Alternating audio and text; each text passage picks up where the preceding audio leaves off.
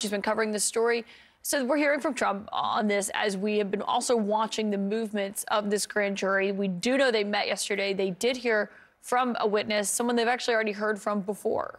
That's right, David Pecker. He is the former head of the company that publishes the National Enquirer. We know that he met with investigators, argued that this could have potentially made a difference, and that's one of the reasons that they believe this is righteous. But that's an interesting argument that he's making in the Fox News interview. Would you, you call yourself a reformed attorney? Is yes, recovering, recovering, recovering attorney. Fans, people who aren't even fans of mine are saying don't do it. Fans don't decide legal matters, right? It's up to the evidence. Without a doubt. And many uh, fans, non-fans, whomever, were criticizing the district attorney for not bringing this case. So, right, he's in a he's in a tricky spot here.